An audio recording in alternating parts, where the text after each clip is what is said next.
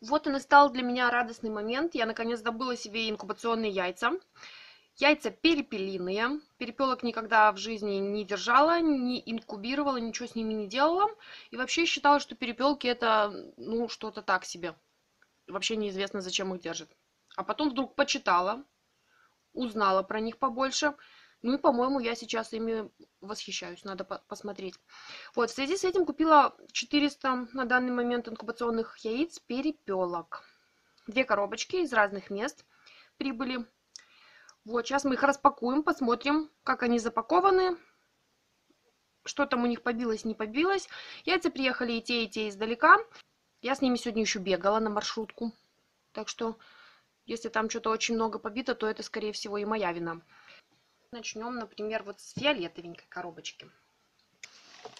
Оп! Красота какая! О, какая профессиональная упаковка! Так, это у нас перепелиные инкубационные яйца этого техасские. Так, сейчас я их буду выкладывать в лоточек чтобы удобнее было выкладывать яйца инкубационные в лоточек, чтобы он не, не, не падал, не нагибался, не перекатывались они. В общем, будем поставим его немножко под углом. Тут не совсем видно. В общем, я одну верхнюю часть, вот эту вот, приподниму. И тогда будет удобно яйца выкладывать. Так, значит, начинаем. Я так понимаю, перепелиные яйца, я там вроде читала, можно вот так вот ставить носиком. Вниз низковато поставила. Так, вот что мы сделаем. Короче, лоточек длинный, я приподняла тот конец сантиметров на 5. Ой, укатился. Ну, яйца перекатываются. Вообще у Блицев там продается на сайте лоток для перепелов специальный. Я спрашивала, в чем, ну, как бы разница.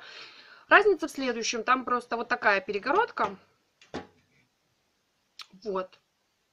Получается, наверное, вот так вот удобнее накладывать яйца. И потом перегородка вот так вертикально ставить. Ну, не вертикально, как это вот по длине ставится.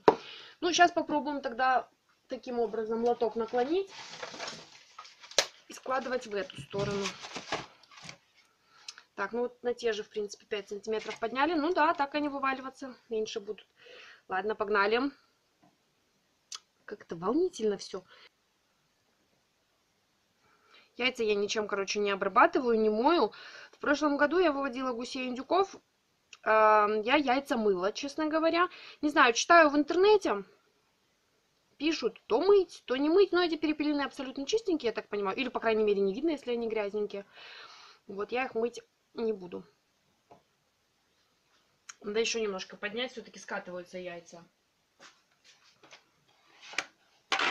Капельки успокоительные подложим.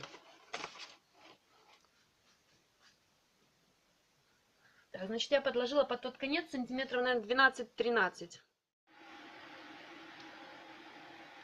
Я для интереса время засекла. Поскольку, я так предполагаю, я здесь надолго с этими яйцами. Ну, начала я где-то это все. Может, без 20, 11. Сейчас 11. На данный момент минут 20 я этим занимаюсь. То ли еще будет, я подозреваю. Так это еще даже первую коробку не выложила. Ладно. Сейчас потренируюсь, может потом как заложу. Читала, кстати, про авоскопирование этих яиц перепелиных. Поскольку у них темная скорлупа, очень плохо видно, просвечивать их очень неудобно.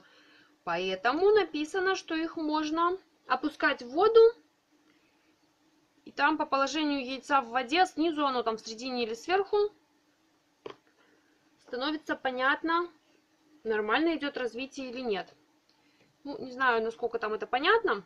В общем, буду, когда вас копировать, тоже сниму, потому что это для меня ново. Посмотрим, что там, как проверять.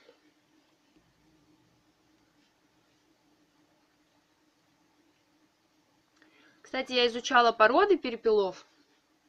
Ну, уже если заводить вот, сниму видео обязательно по этому поводу. Вообще думала сначала снять видео, потом закладывать яйца. Ну, просто руки не дошли, дел много. Что-то не дошли. Вот. В двух словах расскажу, поизучала эти всякие породы.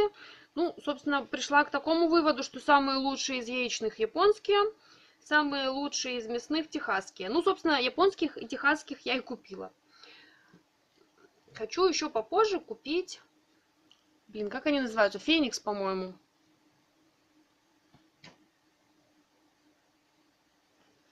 Они вроде как здоровые. Там по 400 грамм живым весом.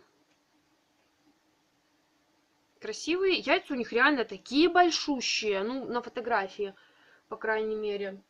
Яйцо, ну, заявлено там 19-20 грамм, размером со спичечный коробок.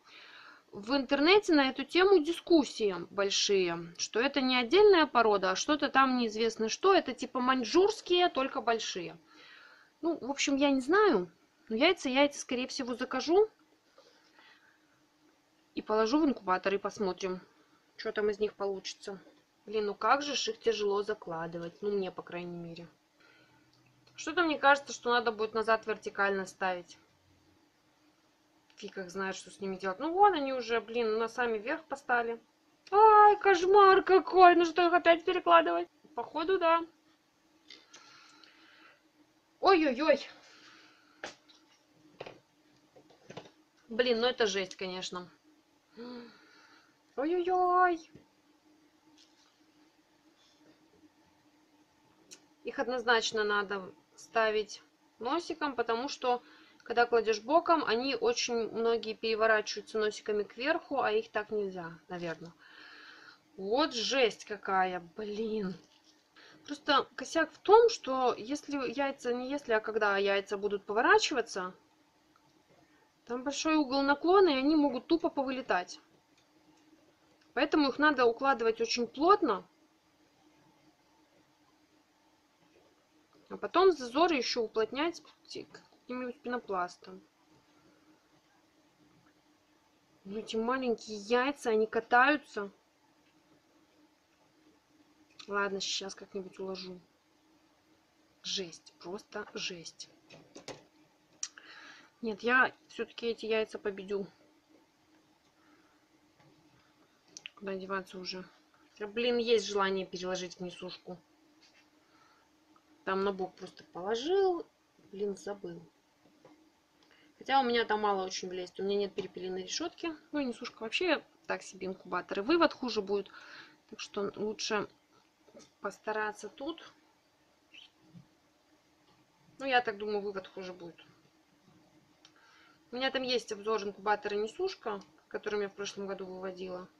Кому интересно, подсказка вот сейчас в этом месте будет. Посмотрите, кто не смотрел. Еще есть видео, как повысить влажность в инкубаторе несушка. Тут тоже сейчас будет подсказка. Если что, можно открыть в новой вкладке.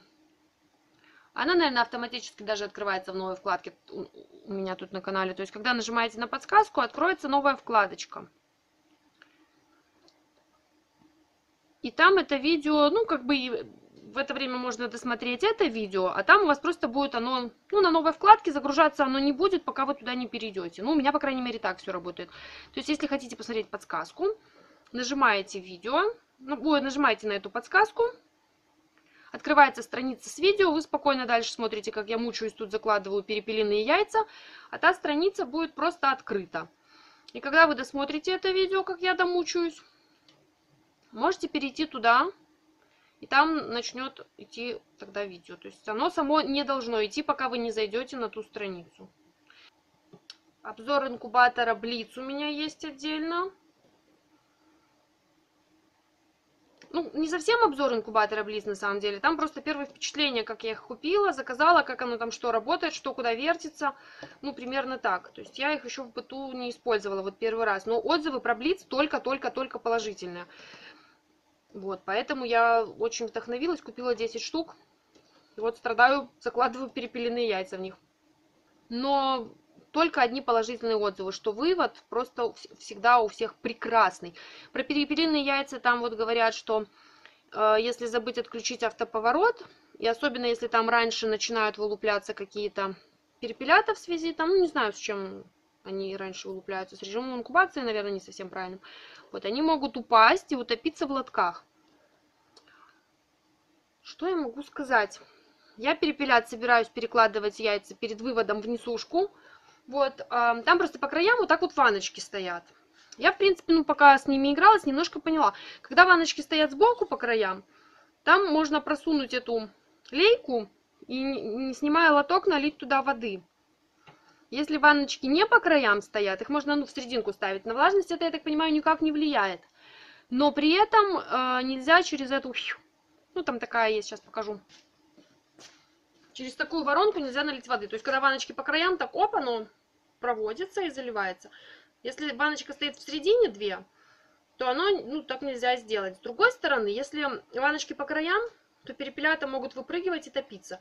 Если в середине, они не выпрыгивают и не топятся. Ну, короче, вовремя надо отключать автоповорот, я так понимаю, из всего этого. Как вариант, я подумываю себе сделать. Сделать наверх вот такую пластиковую сеточку. Вот как здесь внизу, такую же наверх.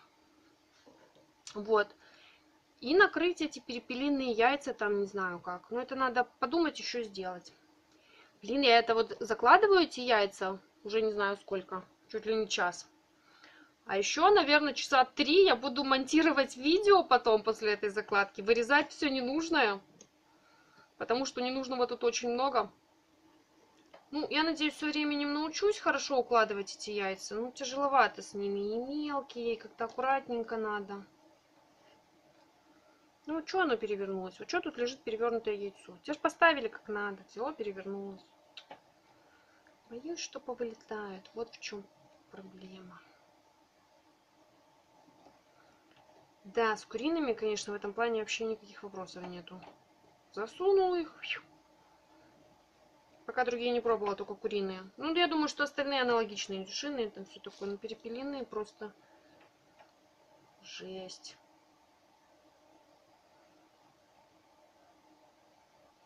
Слушайте, если кто-то знает какие-то способы упрощения, как попроще эти закладывать яйца, поделитесь, пожалуйста, в комментариях.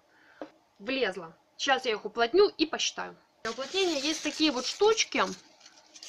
Это как раз был уплотнитель к инкубатору. Сейчас мы их и используем.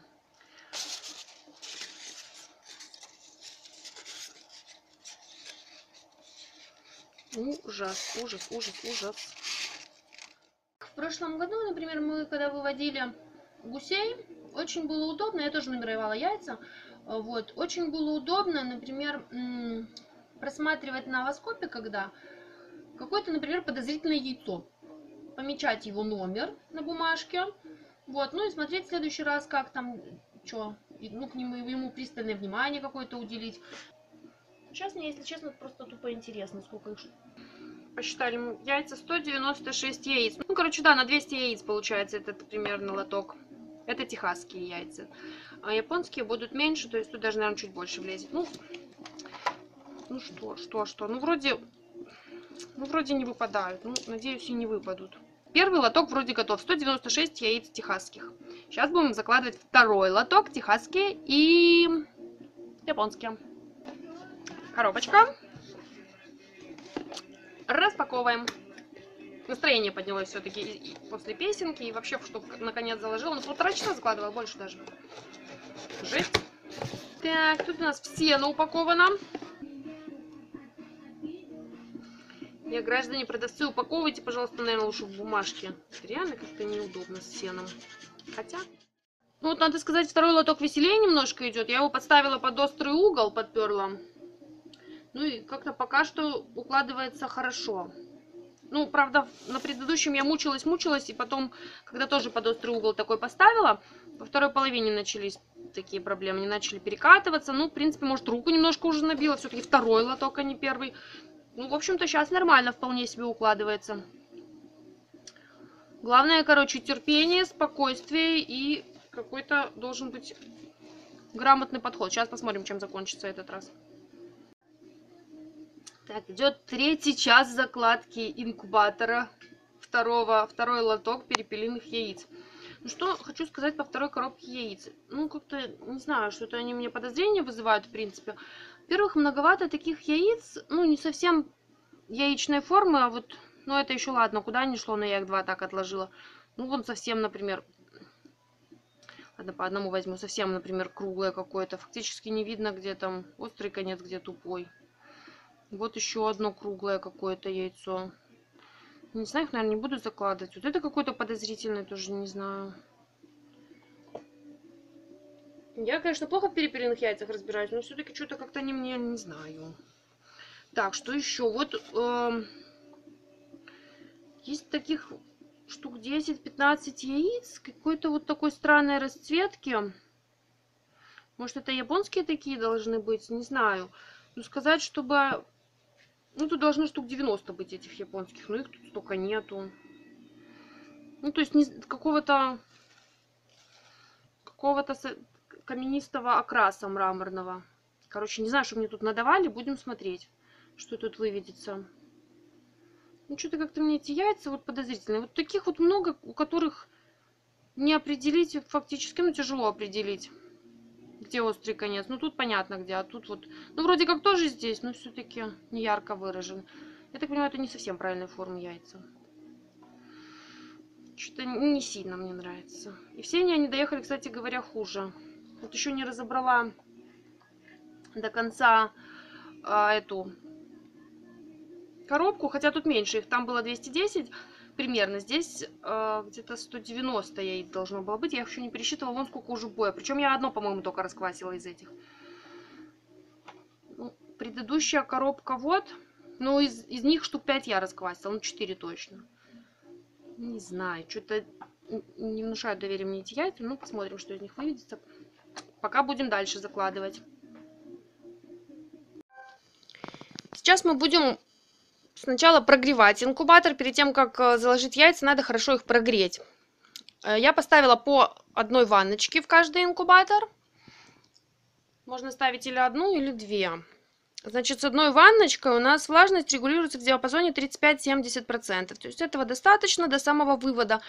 В принципе, 70 и на выводе может быть достаточно. Ну, на выводе я их перекладывать собираюсь в другой инкубатор, поэтому пока что пойдет. Ну, если не буду перекладывать, то доставлю сюда просто вторую ванночку. Сделаю 80% на 16-17 день инкубации. Так, сначала мы будем прогревать инкубаторы без яиц. Э, я заклеила малярной лентой вентиляционные отверстия. Сейчас мы поставим температуру, ну, наверное, 38, чтобы хорошо прогрелся инкубатор и побыстрее. Поставим температуру 38 и пару часов инкубаторы погреются, сами себя погреют. А потом заложим яйца. Так, еще один важный момент. Я тут уплотняла-уплотняла эти яйца. Сейчас, пока инкубатор еще не включила прогреваться, хочу проверить автоповорот. То есть будут они вылетать или нет все-таки. Если будут, буду уплотнять. Если не буду, значит не буду. Просто если, ну, автоповорот надо включать на второй, третий день инкубации. Но я включу на второй. То есть первые сутки яйца спокойно лежат, просто прогреваются. И если тогда начнут они вылетать, то надо будет вынимать лоток и опять-таки их уплотнять. И из-за этого, ну, могут быть проблемы с яйцами какие-то. То есть это смотря сколько времени займет. В общем, в первой части инкубации, в первых днях, нежелательно, чтобы яйца остывали. Поэтому проверять будем сейчас, чтобы сразу уплотнить яйца. Два лотка проверим. Блин, страшно.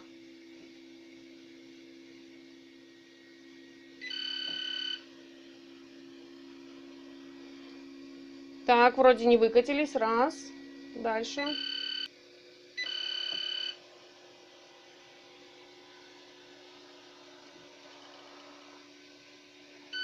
Ну что, вроде как нормально. Так, ставим лоток в исходное положение этот.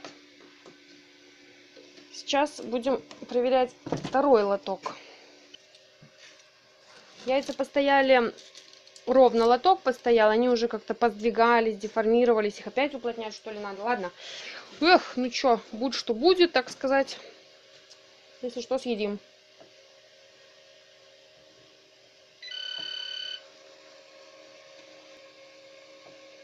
Я не до конца еще разобралась с автоповоротом. Я его тупо жму долго, пока он куда-нибудь не поедет.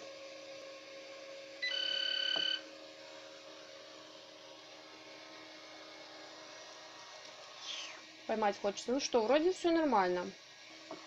Ставим в исходное положение лоток. Снимаем лоток.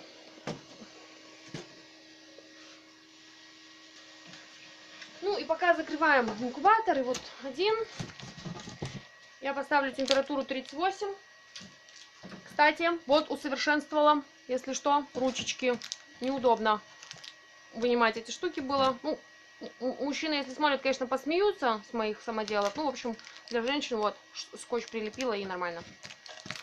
Так, все, прогреваем инкубатор, ставим температуру 38 и ждем, когда они нагреются, температура стабилизируется, а потом будем яйца закладывать. Ну что, вроде инкубаторы прогрелись, будем закладывать яйца. Вот он настал этот торжественный момент. Так, стабильно держит температуру 38 и 2, даже показывает 38,1. Сейчас заложу яйца. Первый лоточек.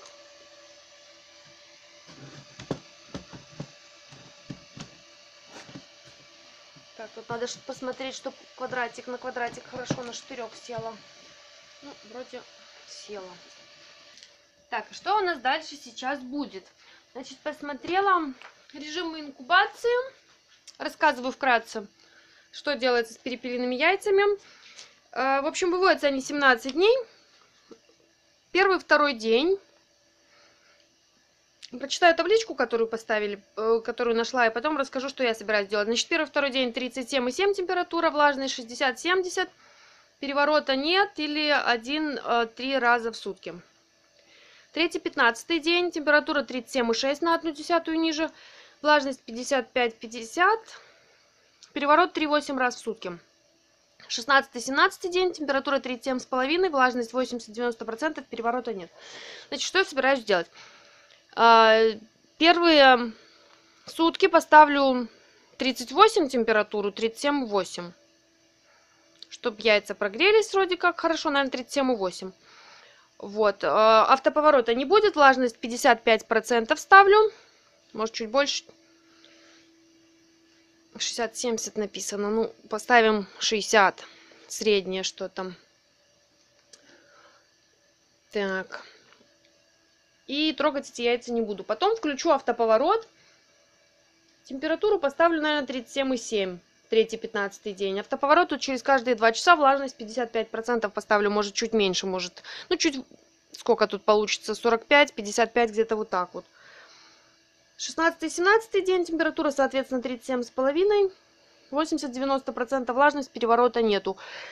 Ну, это я перенесу уже в следующий инкубатор. Э, вот не знаю по поводу охлаждения. Все яйца вообще надо вроде как охлаждать. Про перепелиные я не нашла, надо их охлаждать или нет.